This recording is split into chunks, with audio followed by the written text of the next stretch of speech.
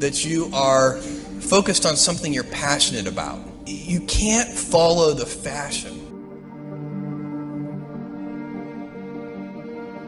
When you're trying to do a startup company, or I think really anything in life, but you have to, as an entrepreneur, if you're gonna if you're gonna build a company, pick something you think is interesting that has the intersection of genuinely creating real customer value, and then just stay right there and let the wave catch you.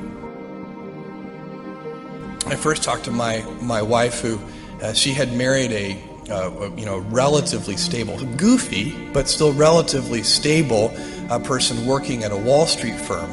I worked at a quantitative hedge fund. And uh, this was a hard decision, and I was looking for the right framework in which to make that kind of important decision. And, and, and, and the right framework I found is a regret minimization framework.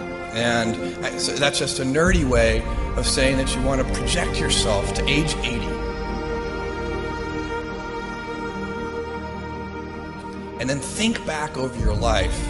And, and if you're if you're if you're 80, what are the you want to minimize the number of regrets you have. But it was uh, a very clear way for me to think about making that kind of life decision.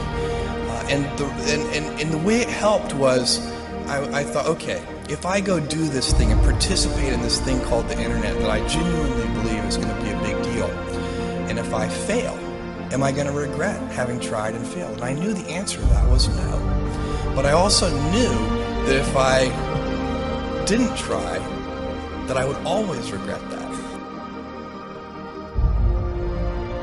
Step by step, ferociously.